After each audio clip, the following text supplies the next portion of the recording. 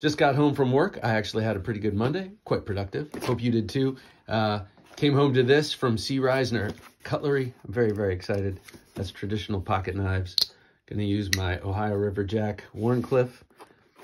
Oh, I'm excited. I'm gonna be receiving a pocket slip from Kevin Duty shortly, made of leather. Can't wait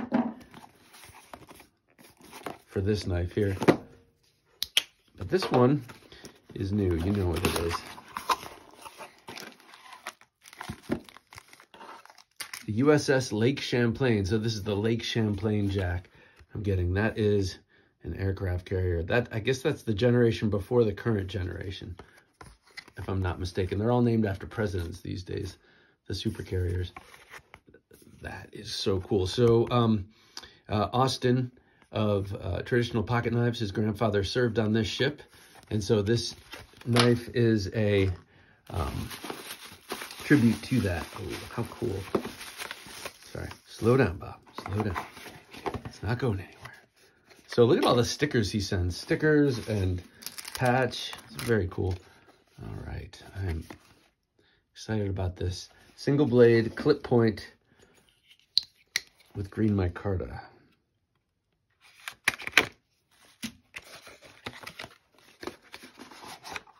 I know this to be a big knife. What a great box.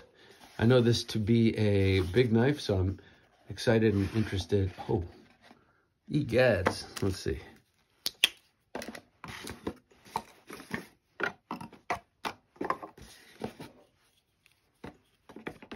There's the Ohio River Jack. Whoa. Smooth. All right, let's just do this.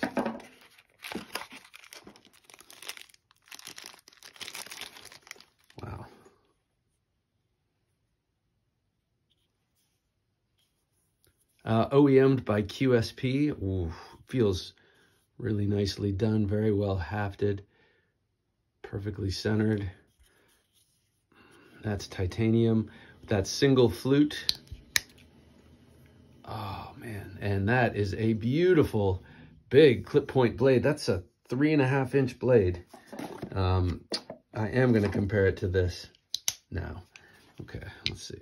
That's substantially larger than the Ohio River Jack. Wow, this is beautiful. Whoa. Ooh. That action.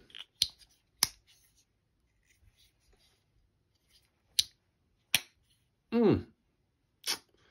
And that is really nice micarta. Very nicely fit.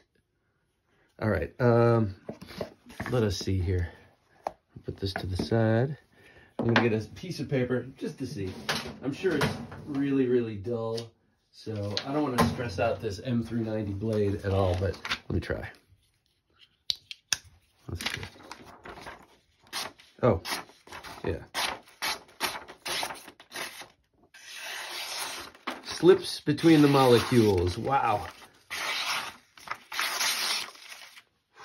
Man. I know it's not for this, but Oh yeah, great back cut on this too.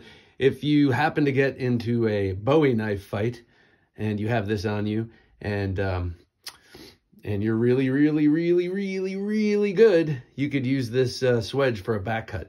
But you might want to duct tape the pivot so it doesn't fold on you. But that none of that is uh, covered in the warranty, so don't even think about it. Oh my God.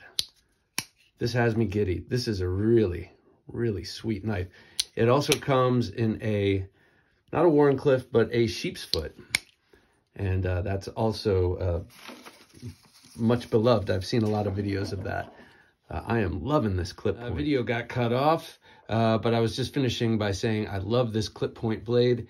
Uh, it's hollow ground, and um, I'm excited about that because that's different from this. This is a full flat grind, and this is really incredibly keen as well.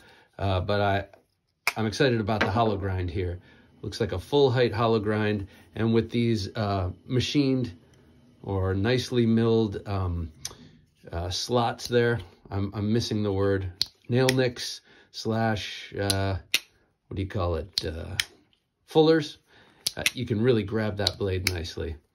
I want to say thank you so much to Austin. He sent this to me and I really, really appreciate it. This is amazing. Um, I cannot wait to talk to him about this knife and other knives like the Ohio River Jack and uh, and just talk about C. Risner Cutlery, his grandfather, and the whole uh, the whole operation. So uh, stay tuned for that. But in the meantime, you'll be seeing me uh, gush about this uh, on the show. All right. Thanks a lot.